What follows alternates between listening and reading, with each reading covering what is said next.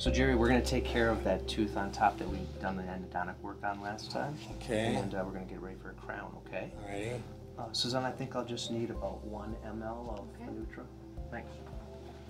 So one of the things I like to do is I, I cut a cotton roll in half, uh, just because we're gonna be taking advantage of the CO2 micro bubble. I like to put a half of a cotton roll way in the back, just in case that fluid or liquid kind of drips back. Uh, turn this way. And again, the CO2 micro bubble, if you can get syringe there, uh, will actually uh, penetrate right through the mucosa and it acts as my topical anesthetic. And our expectation is that Jerry will feel virtually nothing, if nothing at all. And Jerry tends to be a very sensitive guy, believe it or not. Mm. So we will see. Just putting the CO2 microbubble right on the surface of the tissue. I'm knowing that the tooth is about 21 and a half millimeters long naturally. I'm kind of planning right at where the um, the mucosa meets the the uh, loose tissue, the attached gingiva, and I'm just letting that sit there. It's suggested that the CO2 microbubble penetrates the mucosa in about 7 to 10 seconds. Um, because the system works so efficiently, I figure waiting another 10 to 15 seconds isn't a big deal. And I'm already placing the solution in the tissue. It's a very slow drip, drip, drip going through my bots. There's no reason to make it a rush.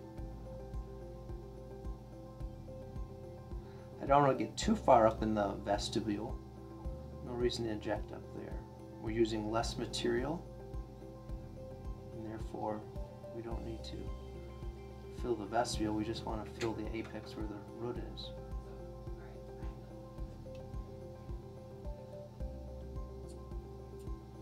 You might have just heard that little haptic sound of the syringe clicking.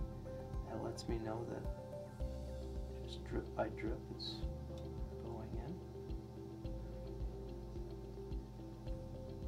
I do this over the course of about 30 to 45 seconds.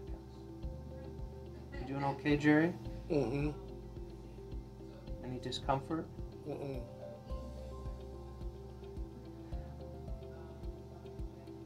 The transition from the traditional injection techniques is that you you do have to remind yourself to slow down a little bit. And again, obviously, we don't use the same volume of material. I've only used a half an ml so far, much wrapping it up here. Withdraw the needle. Now, what we're going to do unique, even though we don't have to do it, um, I'm going to put a little bit of anesthetic on the roof of the mouth. Obviously, we all know that that the uh, roof of the mouth is a very tender spot to numb somebody up. So we'll see how the Anutra works in that position. Again, I'm going to dry the tissue off. Jared, do you mind if you lean your head back just a little more? There you go. Good. And I'm going to use a little cotton roll again. I don't want it to drip down his, his throat at all.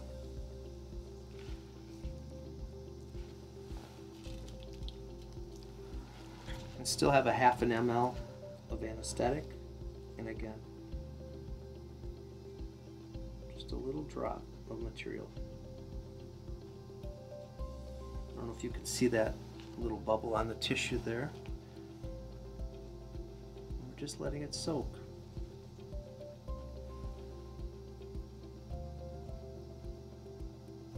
Okay, now a little bit of medicine going in. Jerry, how are you doing? Mm-hmm. It's just a drip, drip, drip.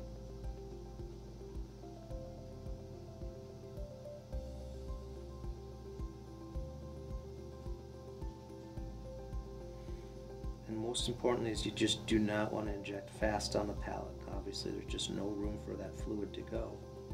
So just let it drip.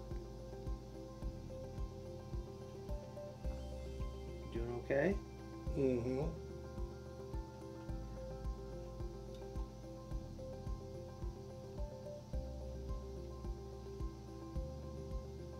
I probably have about two minutes into this injection. But the beauty is he's, he's probably already numb. I'm taking it out. And I used less than 0.75 mLs. So pretty, pretty uh, efficient with the material so we're not wasting it. Again, a normal carpule is about 1.8 mLs. We use less than half of that. Okay, Jerry. How'd that feel on the roof of your mouth? Good. Did you do a shot or? I did. I did. I actually did not feel it. That's awesome. That's awesome. That's the whole point of Anutra is we're, we're trying to make your system accept that anesthetic and not hurt so much. Worth the worth the trip to the dentist. It's all numbing now. Good, good. And we hardly used any Honest. I can't believe it. I didn't feel a shot. Yeah, That's pretty nice. good. Again, he is a tough guy, so. Oh, thanks for the compliment. okay, let's get to work.